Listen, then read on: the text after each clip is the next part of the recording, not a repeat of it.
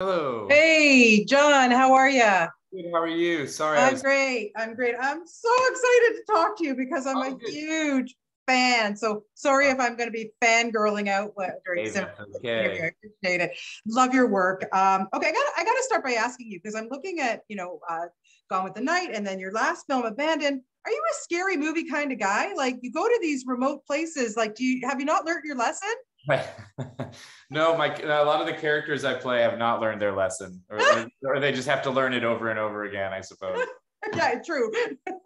but do you like these kind of like? Is this a genre that you really, you know, are liking now more than? Yeah, I mean, I've always, you know, ever since I was a kid and a teenager, I loved scary movies. I mean, I was terrified of them. I wasn't like a scary movie fan until like my my teens. A lot of kids yeah. at school when I was younger could stomach the scary movies. I couldn't it took me years to be able to face them because I was so terrified. But as I right. got more into movies and filmmaking, I started to really respect and appreciate uh, what went into making horror movies and what what goes into that genre. And uh, it took me a long time, but I about uh, gosh, about eight years or so, I, I, I finally started to make you know scary movies and be in them as an actor, which has been yeah. really really fun. So um, I don't necessarily seek them out; they just kind of have found their way to me as an actor through the years, and um, it's always really exciting to get you know uh, a, a, script like Gone in the Night. You get like a, a, new voice in the genre. You know, Eli Horowitz, I think, is is incredibly talented, and yeah,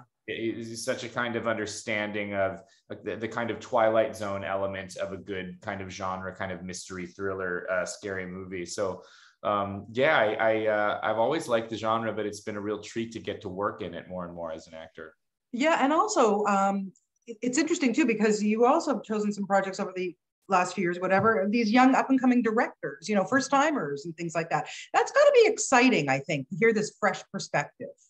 Absolutely. And it kind of, you know, it keeps you young in a sense, which is funny because it's so much about the, the film is about aging and staying excited and staying engaged with what yeah. you're doing. And I love working with with up and coming filmmakers because there is a real purity of heart uh, to the proceedings when you're working with someone who's just getting going. Uh, it is a weird business and uh, yeah. it is easy to get a little jaded and a little disillusioned. And I like working with the next wave of filmmakers because uh, I always, you know, a, a friend of mine who's an actor works with a lot of up and coming filmmakers and he's very successful, you know, and he could be doing kind of anything he wanted to do. And I asked him once, like, why do you keep making movies with such kind of green filmmakers? And he was like, well, I mean, I, I had to start somewhere. Everyone has to hmm. start somewhere. You know, Spielberg, Scorsese, everybody has to take a chance on some young filmmaker. You never know uh, where they're headed or what they're going to do. So if you get along with them and you respond to the material that they're working on, why not jump in together and try to make something? Well, for sure. But you know what? It goes the other way too. And I, I was going to get to this later. But when you look at your career, John, OMG, like OMG is all I have to say. And you know, you're a young buck. You're you're in this play on Broadway. Oh, Spring Awakening. You know, uh, you know, The Newsroom, The West Wing. And need I go on and on? You look at somebody like Aaron Sorkin, who clearly, you know, took a took a risk on you, mm-hmm. right? Absolutely. I had not done a ton of television when Aaron put me in the newsroom, uh, just a few guest spots here and there, but I certainly had done no series regular work. Um, and it's true, you know, everybody needs a shot. Uh, everybody, ha- that, that's how it all begins uh, in any field, but especially in the entertainment industry, because so many people don't want to. Uh, so often, people are reluctant to work with someone unless they've like really, you know, proven themselves yeah. already. Um, but you know, if that if if we if we adhered only to that, then there would be no breakout performances and there would be no young emerging talent. So it's always important to, uh, I think, turn. Uh, turn the focus to who's emerging and who's working on something new, who's working on something exciting.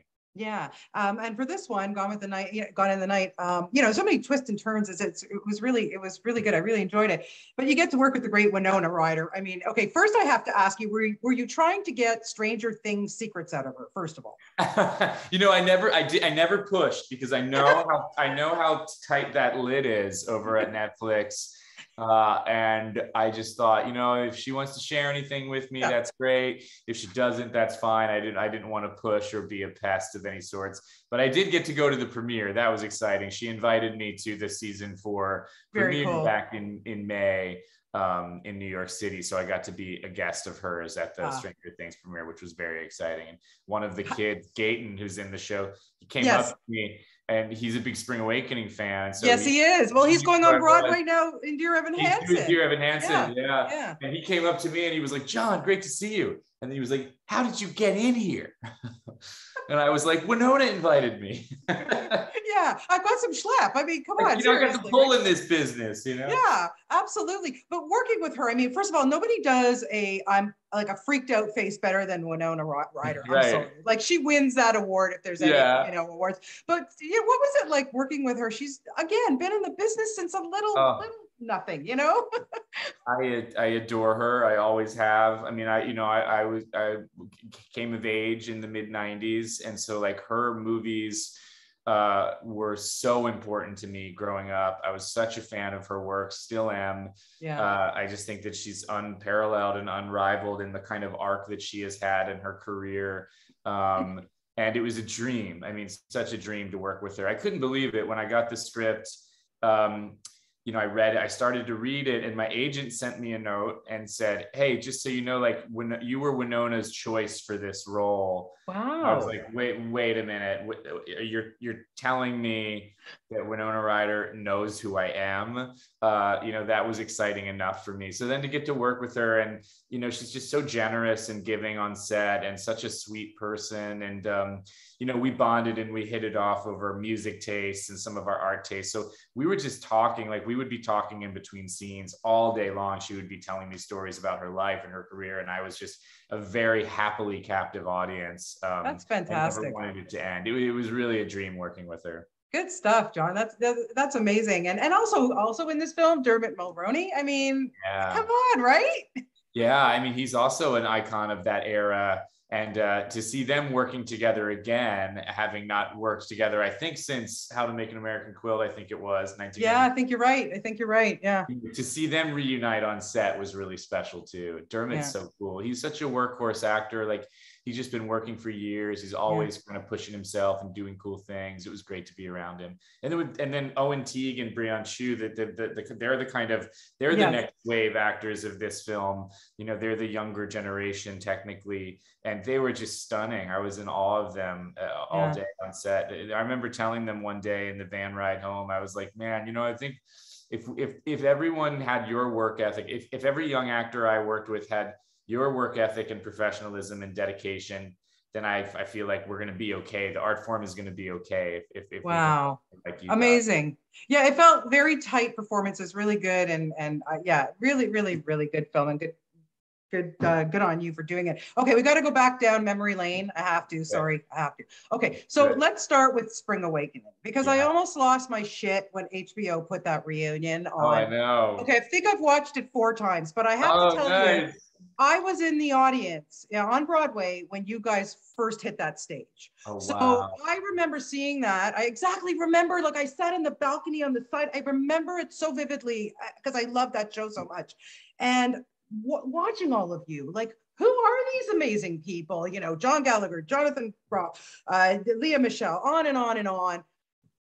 Honestly, to have done this reunion, like to be able, what was that like, John?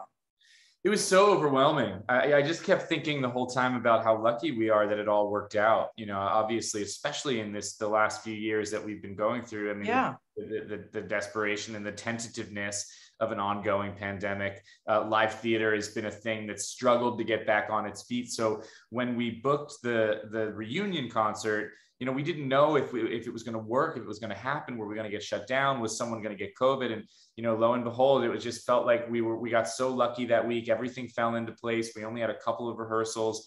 We hadn't seen each other together under one roof in 15 years. We hadn't Right. songs in 15 years.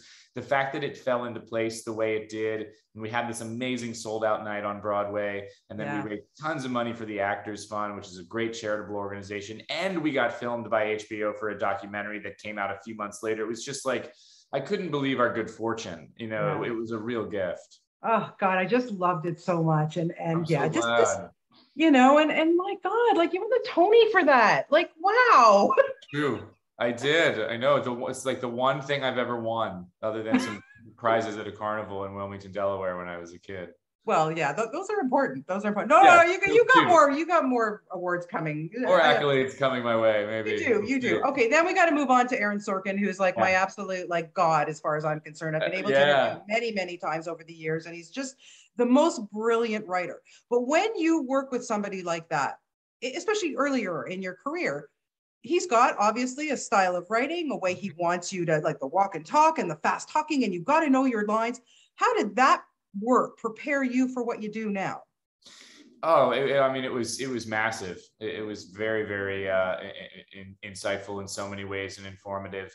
Uh, just to kind of be on a film set uh, or television set rather, but it you know felt like we were making these short movies every week. Yeah. Uh, to to to have that kind of dialogue. You know, I came in the obviously came up in the theater, and so I'm used to large swaths of dialogue. You know, sometimes you'll be in a film and you'll you'll only get maybe two to three pages to shoot sometimes in a Yeah. day. Um, and so you won't really get like dialogue that you can sink your teeth into, which is my favorite thing as an actor is the language and, and and what do I have to say and how do I say it and how do I convey it and how does it tell the story? And you're just given, you know, like the you know the keys to a Cadillac when on an Yeah. Aaron Sorkin set when when when the, one of those scripts falls into your lap. Um, so it, it taught me a lot about preparation and it also taught me a lot about um, intention because his dialogue is so rapid fire and so fast. And uh, sometimes you just kind of have to plug yourself in pick up your cues kind of say it. It, it, it does it, it honestly it, it usually works better the faster you say it. It- that's kind of just how he writes. He's he's admitted it you know um, and we felt that too. But then you also got to like make sure that you're also kind of intellectually doing the job as the storyteller. So i always felt like that was my challenge on the newsroom was like how do i deliver this heightened aaron sorkin dialogue and still kind of make it sound like a human being is saying Yeah. it? Um, because the, the the trick is you want to make sure that you s- still sound human because you don't want to become like a just a, like a uh, an automated robot or something uh, in the yeah yeah so I, I i need to know like of all the amazing actors that you've worked with over the years you know from jeff daniels to like i mean just so many great opportunities who have you learned the most from Oh my gosh, I don't know. Uh, oh, there's, I mean, so many. I mean, I, I, I, I the, someone who's popping into my mind right now is I've got to work with Michael Shannon a few times. We worked, Yeah. together. we were on Yeah. Broadway together. We played brothers yes in a Eugene O'Neill play, and and that was that was incredible. Uh, Mike Shannon, Mark Rylance. I did a play with Mark Rylance once, and obviously they- they- they're they're titans of the uh, uh, of the art form. I mean, Yeah. they're some of the best that we have in the industry. Um, so being able to work alongside them, Richard Jenkins and oh another yeah veteran my parents in a miniseries once. yes yes Getting to be in scenes with the two of them, I mean, it doesn't get much better than that. So th- those are just a few that I've learned an awful lot from. Amazing so what's what's coming up next and are we going to see you back on broadway and uh No, a you've got a movie question. you've got a movie coming out with ariana debose I do, yeah. We shot a movie last year called ISS that takes Yeah. place on the International Space Station. I don't know what's happening with that one. I know that they're finishing up editing it right now. So I think that we'll probably find out in the coming months where that one's going to land. And then I just did my third, uh, I just did my third musical with Michael Mayer, who directed Spring Awakening. We premiered a new show called Swept Away at the Berkeley Rep Theater earlier this year. And John Ooh. Logan wrote the book. nice songs by the Avett Brothers, and that was Oh. really, really uh, that was a dream. That was so much fun to be back on stage. I mean, I hadn't done a show, I hadn't acted on stage in like six years, so that was that was a real treat. So hopefully, that's going to find its way to New York City sometime in the coming years. Well, you know, we do have an amazing theater scene here in Toronto. So, uh, you know, I will personally bring you guys and, you know, talk to Hey, the Burgishes. I love Toronto. yeah, yeah. My I friend is mean, there right now doing a and and Juliet. okay, I was just gonna go there. I saw it last night. Oh, you I'm did? Still, I'm still goosebumping. Like, it is freaking amazing. Oh, and when you guys get it on Broadway, it's I can't wait to go. Hamilton. It's the next Hamilton. Because It's my amazing. friend, my friend Stark Sands plays Shakespeare Yes. in that, and we were just in Swept Away together uh, uh, out in Berkeley Rep. So he's a He's amazing. The whole Yeah. cast is. You've got to see it when it Oh, comes there. good. Oh, I'm excited. I can't wait. Yeah, it's fantastic. Well, listen, I've taken a lot of your time, and I, you know, like I said, it was fangirling. I got No, had to get all those. I had to get all those answers in, but um, I'm sure ISS will be. Uh, they're going to ramp that up, especially since she's won the Oscar I know now. she's and- a big superstar. yeah, yeah, Yeah. But so are you, my friend. Oh, it's such a you. pleasure, and I love watching you and everything you do. And uh, yeah, come visit us in Toronto. I'll take you for a coffee. I promise. Perfect. I love that. Okay, John. Okay. Thank you for your time. Best of luck with everything. yours. Thank you Okay. so much. You're welcome. Thank you. Bye bye.